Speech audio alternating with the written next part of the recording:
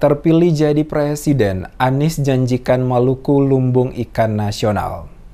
Maluku menjadi salah satu prioritas pengembangan sektor kelautan dan perikanan sebagai lumbung ikan nasional. Calon Presiden nomor urut 1 Anies Baswedan menyampaikan komitmennya secara langsung dalam pertemuan terbatas di kota Ambon pada hari Senin 15 Januari 2024. Saat menghadiri acara Desak Anies, calon Presiden nomor urut 1 Anies Baswedan dengan tegas menyatakan bahwa jika terpilih menjadi presiden, Maluku dengan potensi kekayaan laut yang luar biasa akan dikembangkan menjadi daerah pusat perikanan di kawasan Indonesia Timur, menjadikan Maluku sebagai lumbung ikan nasional. Untuk mendukung visi tersebut akan dibuat regulasi terkait pengembangan dan pengelolaan kekayaan sumber daya laut Maluku. Ini akan diikuti oleh pembangunan sarana dan prasarana penunjang seperti pelabuhan pendaratan ikan, dan tempat penampungan serta pengelolaan ikan. Selain membahas pengembangan sektor kelautan di Maluku, calon Presiden Anies Baswedan juga menjawab sejumlah pertanyaan dari generasi muda Maluku, termasuk isu-isu pendidikan, ketenaga kerjaan, dan alokasi anggaran pembangunan yang harus disesuaikan dengan kondisi daerah Kepulauan Maluku. Saat acara pertemuan dengan para simpatisan pasangan Anies dan Muhaimin di Gedung Islamic Center Kota Ambon, Anies menyampaikan menyampaikan sejumlah program kerja yang akan dilaksanakan selama lima tahun kepemimpinan jika terpilih sebagai presiden dan wakil presiden.